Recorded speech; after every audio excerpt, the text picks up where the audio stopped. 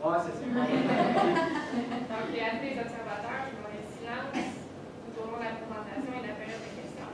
Si vous désirez applaudir, vous êtes devrez attendre la fin de la période de questions. Vous ne devez en aucun temps dévoiler de la provenance de l'équipe qui présente. Et il n'y a aucune entrée ni sortie de la salle n'est permise durant la présentation ou la période de questions.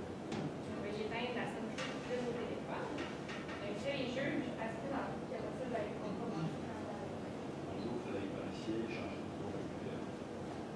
Je. Bonjour, Lefebvre, je suis de.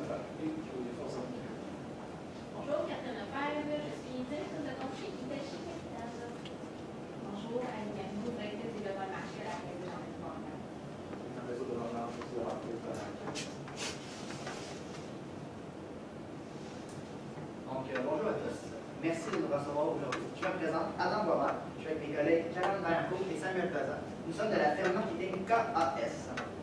Donc, aujourd'hui, nous sommes ici pour euh, résoudre un problème qu'il y a dans la marine canadienne. Donc, nous allons présenter toutes nos euh, solutions euh, au problème.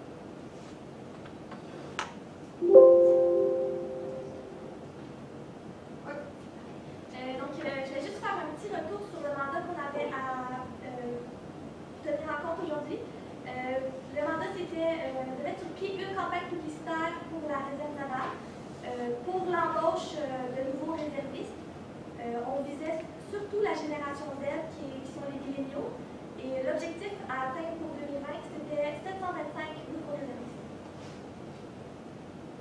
Donc, pour ce faire, on va commencer par euh, établir une matrice euh, FFOM, qui est euh, l'analyse des forces, des faiblesses, des opportunités et des menaces. Euh, sensiblement, euh, pour, euh, premièrement, on va parler des forces. Donc, euh, on a soulevé la, première force qui était la flexibilité, euh, flexibilité au niveau des horaires. Euh, donc, euh, pour, euh, les, la génération Z et milléniaux, et milléniaux, euh, c'est c'est une flexibilité qui est euh, très avantageuse pour eux, qui peuvent concilier avec le travail euh, et, l'étude. Euh, ensuite, euh, on est avec euh, euh, l'employeur qui est le troisième plus grand employeur euh, au Canada, donc qui offre euh, plus de 100 000 euh, euh, emplois travers le pays. Euh, ensuite, nous avons euh, l'accessibilité. Euh, on a soulevé que euh, 90% des citoyens canadiens étaient à environ moins de 46 minutes de, euh, navale. Euh, ensuite, nous avons la reconnaissance des euh, qui, au niveau des euh, jours de souvenir, de la commémoration des, euh, batailles atlantiques euh, et les médailles aussi qu'on connaît euh, nécessairement. Donc ensuite, je vais vous expliquer les faiblesses finalement de la marine navale. Donc d'abord, il y a vraiment l'image qu'en en général l'armée peut projeter. Donc il y a vraiment beaucoup de stéréotypes euh, négatifs, comme quoi que c'est juste euh, des individus qui sont, euh, bagarreurs. euh, on, peut, on peut vraiment voir euh, des films hollywoodiens qui ont vraiment changé cette image-là. Il y a aussi euh, l'absence de certaines euh, réserves navales sur Instagram et Twitter, qui sont deux des grands euh, médias sociaux. Ensuite, il y a la durée du processus d'embauche. On sait tous que maintenant la génération Z est vraiment habituée à ce que ce soit rapide et efficace. Et avec le service de, processus d'embauche qui est vraiment long et complexe, donc c'est vraiment un point négatif pour la. Donc, je vais poursuivre avec les opportunités. Euh, une des opportunités, c'est euh, leur participation à des causes communes internationales, euh, dire en partenariat avec l'ONU, l'OTAN. Euh, les membres actifs de la communauté, c'est-à-dire euh, quand il y a des catastrophes naturelles au Québec, on peut penser aux inondations dernièrement, ils étaient présents.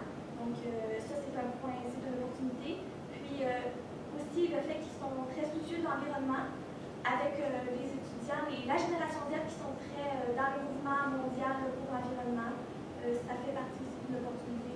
Ouais, C'est vraiment un point fort, les étudiants souhaitent vraiment faire mieux pour aider la planète. On a pu voir au mois de septembre avec les manifestations partout euh, sur la planète. Euh, la menace qu'on a trouvée, euh, c'est vraiment la de main-d'œuvre. c'est vraiment partout, c'est vraiment très. C'est global au Canada, oui, finalement. Ça. Donc, ça fait partie d'une menace parce que ce qu'on veut solutionner comme problème, c'est plus d'embauche, puis on est vraiment dans un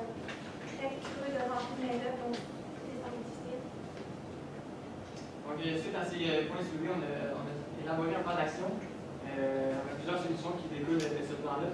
Mais premièrement, on a pensé à établir une présence sur les réseaux, sociaux, euh, étant donné que la génération Z, les milléniaux, sont euh, extrêmement actifs sur les réseaux sociaux. Donc, puisqu'on on a constaté que pas tout le monde qui avait, pas toutes les unités qui avaient un compte Instagram ou Twitter, on est allé avec la présence euh, sur Instagram notamment.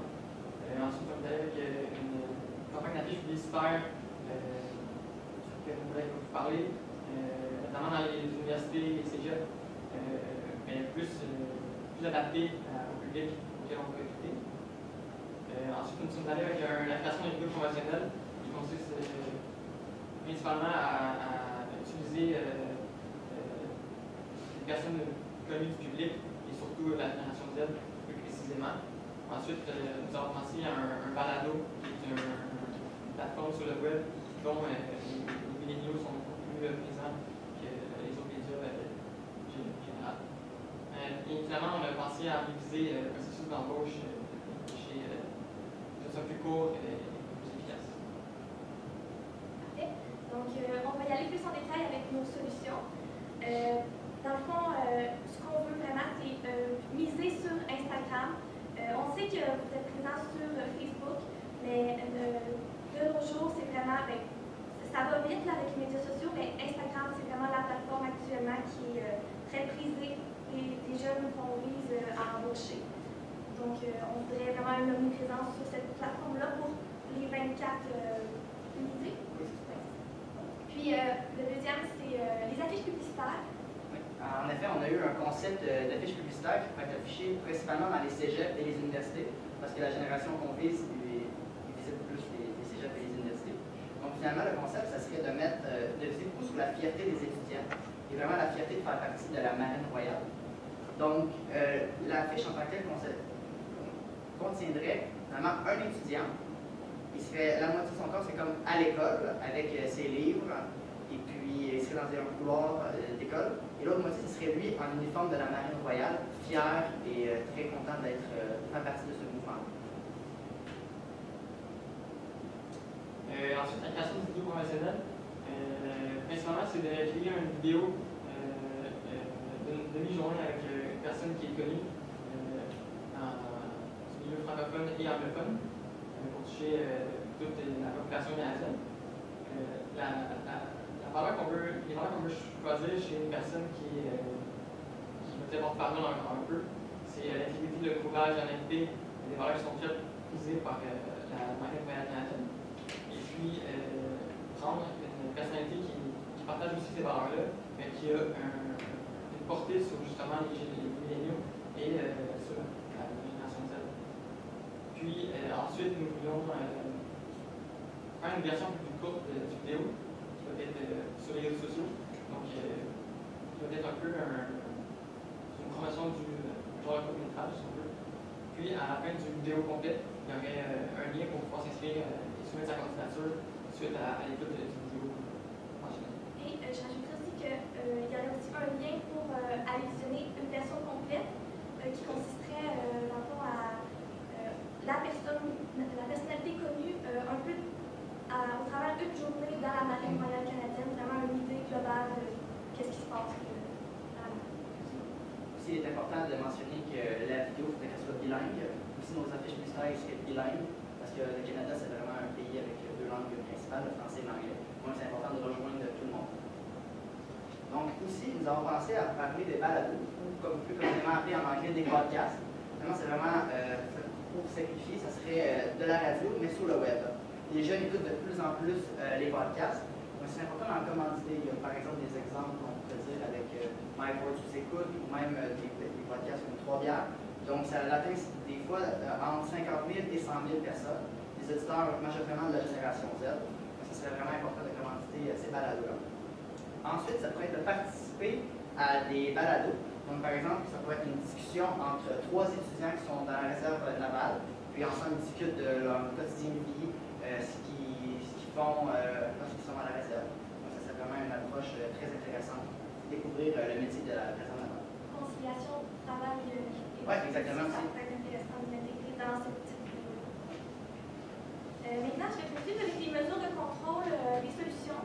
Euh, on a apporté des solutions qu'on aimerait mettre en place, sauf qu'il faut vérifier après un certain temps si ça fonctionne, si on continue, si on les change. Donc, euh, à l'embauche des réservistes étudiants, ils rempliraient un sondage euh, obligatoire pour savoir où ils ont entendu parler de la marine royale. Donc, c'est ça. Puis euh, aussi sur nos vidéos euh, promotionnelles, puis le lien vers le, le- le plus long, euh, on va pouvoir euh, quantifier avec le nombre de clics euh, combien de personnes les ont vus. Donc, ça, ça va pouvoir nous donner une idée de si ça fonctionne-tu ou que Vous avez donné un budget de 50 000. Euh, on est parti de la façon suivante. Dans le fond, on a, on a établi qu'une vidéo pourrait environ coûter 20 000 Ensuite, euh, les affiches publicitaires, on a établi un budget de 5 000 Euh, Pour le compte Instagram, euh, ça serait 2 000 Et puis le balado, 10 000 Ces chiffres-là sont très approximatifs, mais on pense que euh, c'est.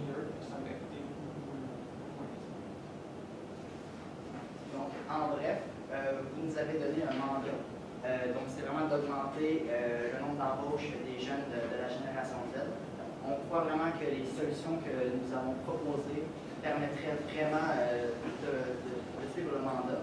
Parce qu'on sait vraiment que la pénurie de main-d'œuvre, crée vraiment des situations que les employeurs sont vraiment, euh, sont vraiment euh, importants de, sont importants de, de mettre des bonnes conditions aux employés.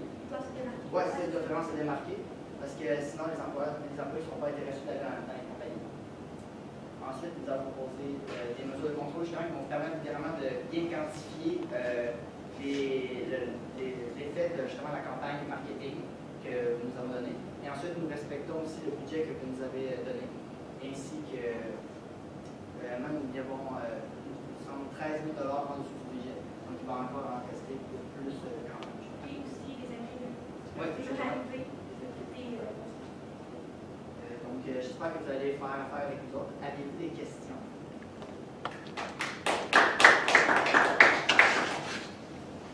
J'en ai deux pour toi. Première question. Euh, balado, tu vas en faire une. Euh, le balado, finalement, ça peut être une étude justement spéciale euh, de la marine royale. Juste un épisode? Oui, on peut faire un épisode spécial. Si, si on voit que l'épisode justement il marche, on pourrait justement intégrer d'autres métiers encore plus. Donc, être plus spécifique, ça peut encore atteindre un, un peu plus, euh, un plus grand nombre euh, de personnes. Et deuxième question, euh, tu ferais quoi de résumer qui reste? Le 13 000 qui reste? Ben, justement, on pourrait encore plus investir aussi avec 13 000 On pourrait investir peut-être euh, dans une campagne de télévision. On sait qu'il y a des fois euh, des émissions qui sont plus populaires avec euh, les, les jeunes de pas les milléniaux. Il y a des postes qui On sont pas euh, émissions plus populaires. Ce serait, euh, ça peut être, euh, je l'occupation double ou même la voix. C'est très populaire. La voix, ouais, c'est populaire à TVA. Et puis ça pourrait rejoindre justement à plus de gens. Merci. Aussi, j'ai deux questions. Euh, la première en lien avec euh, le vidéo conventionnel que vous voulez faire, vous voulez prendre une, une personnalité connue là, autant de monde à Ça, de un, est-ce que vous pensez que ça coûte combien d'une personnalité qui va faire une vidéo? De deux, euh, est-ce que c'est inclus dans votre budget ou ça devrait faire partie du 5 000 ou ça serait des débat-là? Comment vous voyez ça? En fait, c'était plus quantifier euh, ça ici, dans le fond, c'est plus de, de, de personne pour une journée complète pour faire le, le vidéo professionnel. Fait que, euh, en gros, c'est de, de, de passer une journée en, en tant que réserviste dans le marketing de Moyen Canada, puis euh, de faire un vidéo avec ça ici. Fait que, on, a calculé quand c'est tous les euh, le montage vidéo, et aussi de, de, de rémunérer la personne. Ça inclurait dans ton 20 000. Exactement. Deuxième question, ton échelle, votre échéancier, en fait, ce que vous vouliez faire, tout ce que vous nous avez parlé là, c'est sur quelle période de temps? C'est vraiment une bonne question. Euh, on voit que d'après moi, ce programme-là, il pourrait être vraiment euh, en deux ans, ça pourrait être vraiment bon. On sait que les objectifs sont pour 2020, mais je crois qu'avec euh, ce programme-là, on pourrait encore doubler les objectifs euh, jusqu'en 2021. Une question sur Instagram. Vous avez rapidement dit que vous vouliez euh, une mise présence sur chaque plateforme de réseau Instagram. On fait quoi? On fait quoi sur Instagram? J'ai pas bien compris le réseau de c'est quoi l'autre euh, Euh, Ben, moi, je dirais que ça serait des photos, des vidéos, euh, vidéos promotionnelles qui peuvent se retrouver, euh, vraiment pour euh, atteindre la, le public cible, le public, la, les employés, la génération qu'on cherche à atteindre pour l'emploi. Le but, c'est aussi de montrer au public c'est quoi la marine. On a, on a pas beaucoup de documentaires ou même de photos. C'est vraiment de montrer l'action, les employés en action dans la marine. C'est pas là, tu comptes que 2000 qui est associé à Instagram, qui servirait à, Faire de la publicité afin d'atteindre plus euh, de gens euh, sur, euh, sur cette vidéo-là. sur euh, le vidéo, sur la page en tant que telle d'Instagram. Instagram, c'est- ça serait euh, avoir une page et puis discuter du contenu là-dessus. Puis, le- la de attribuer à ça, c'est plus sur, sur la publicité qu'on va faire. Donc, les, les plateformes comme Facebook, on peut euh, payer pour avoir une plus longue. Donc, euh, je- j'ai moi qui personnellement, donc, euh, on s'est dit qu'en mettant l'accent sur la publicité qu'on peut mettre là-dessus, euh, on va pouvoir atteindre plus de gens plus plus facilement. Vous proposez quelqu'un pour euh, le, le- la vedette de la personnalité connue qui va faire la promotion? Euh, ouais, personnellement, j'avais pensé à un athlète. et je pense qu'il y a une bien les valeurs de, de la marine. Donc, un athlète, ça pourrait être euh, je m'en machette. Ça pourrait être est à l'olympique. Je pense que c'est euh, une portée référente, surtout avec les valeurs que que vous recherchez. Je me dis plus là-dessus. Vous avez posé une campagne bilingue pendant l'année, je de dire un commentaire. Que tu vas faire une campagne qui est bilingue ou tu vas faire une campagne anglophone ou une campagne anglophone? Oui, euh, ben, finalement, pour la campagne publicitaire, je voulais dire, ou la vidéo vois, parce qu'il y avait des affiches, des vidéos. Oui, les les, deux, les, les affiches c'est bilingue, ça c'est sûr. Euh, la vidéo promotionnelle, on avait pensé à en faire deux, une en français et une en anglais. Moi, je pense que oui.